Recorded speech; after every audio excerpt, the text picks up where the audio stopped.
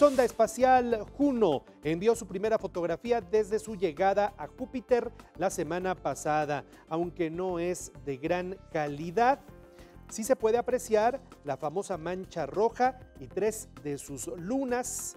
Esta fotografía fue tomada a 4.3 millones de kilómetros desde la Tierra. La NASA afirma que a finales de mes Juno enviará más imágenes de su acercamiento a Júpiter. Yes.